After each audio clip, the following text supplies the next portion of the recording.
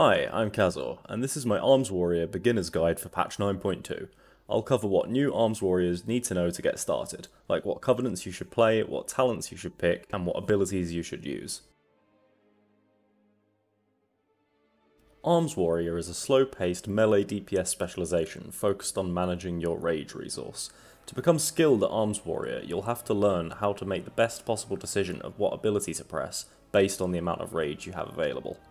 To prevent arms from being 100% predictable, it also has a few important passives which can affect your ability priority. I'll cover these passives later in the guide, so stick around to find out more. The best covenants for Arms Warriors are Night Fae and Kyrian. Both are incredibly close to each other in both single target and AoE, although if you truly want to min-max, Night Fae is best in single target and Kyrian is best in AoE. I'll only be covering the standard single target and AoE builds in this guide, so I recommend checking out what builds the best arms warriors use on Warcraft logs and Raider.io when you're ready to min-max. For single target encounters, you'll want to play Night Fae and Soulbind with either Niya or Dreamweaver. Both Soulbinds are very close in single target situations, so which one you use will depend on whether you'll be able to stand still long enough to get the full use of Field of Blossoms. If you choose Niya, you'll want to select the path containing the first potency conduit, then Niya's tools Burrs, and then the final finesse conduit. This will give you two potency conduits, which you should socket with Mortal Combo and Crash the Ramparts, two finesse conduits, which you should socket with Safeguard and Inspiring Presence, and two endurance conduits, which you should socket with Stalwart Guardian and Condensed Anima Sphere.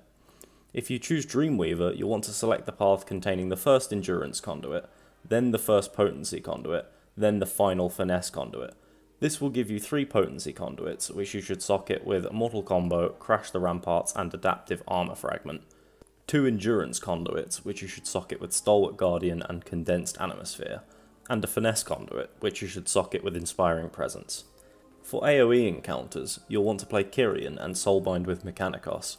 You'll want to select the path containing the first potency conduit, then Hammer of Genesis, and then the final endurance conduit. This will give you two potency conduits, which you should socket with Piercing Verdict and Crash the Ramparts. Three endurance conduits, which you should socket with Stalwart Guardian, Fueled by Violence, and Condensed Anima Sphere, and a finesse conduit, which you should socket with Inspiring Presence. Arms Warriors don't often need to change their talents to be optimal. If you just want a set and forget build, you'll want to select Sudden Death, Double Time, Rend, Bounding Stride, Warbreaker, Avatar, and Dreadnought. If you want to make small optimizations, you should swap Double Time for Stormbolt in any scenario where you'll be able to stun enemies, like Mythic Plus, and switch Bounding Stride for defensive stance when an on-demand defensive would be more valuable than extra mobility. An important thing to remember with defensive stance is that you have to cancel it once you no longer need the defensive, because it reduces your DPS by 10%. There are only three legendaries worth crafting for Arms Warriors Enduring Blow, Signet of Tormented Kings, and Unity. You should craft Enduring Blow as a belt, Signet of Tormented Kings as a ring, and Unity as a helmet if you are able to get the 4 set bonus without a tier helmet, or as braces if you are using a tier helmet. All of your legendaries should be crafted with crit and haste. You should use Enduring Blow in Unity in single target situations, and Signet of Tormented Kings in Unity in AoE situations. Your stat priority will constantly change based on what gear you're wearing, and what talents, covenants, and conduits you're using, so I recommend doing a top gear simulation on raidbots.com to find your best gear.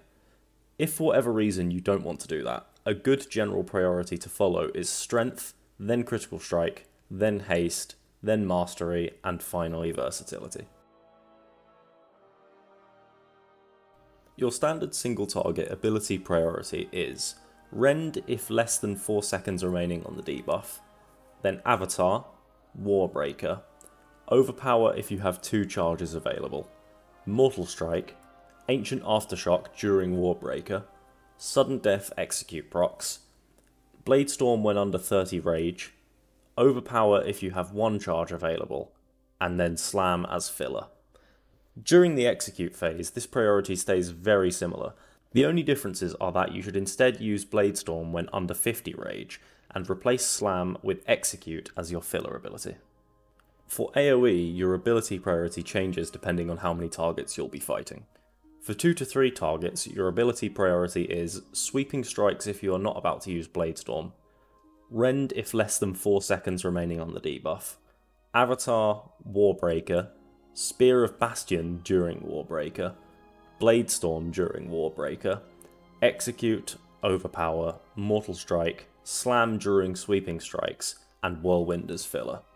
For 4 targets or above, your ability priority is Sweeping Strikes if you are not about to use Blade Storm, then Avatar, Warbreaker, Spear of Bastion during Warbreaker, Blade Storm during Warbreaker, Execute during Sweeping Strikes, Whirlwind during Warbreaker, Overpower, and then Whirlwind.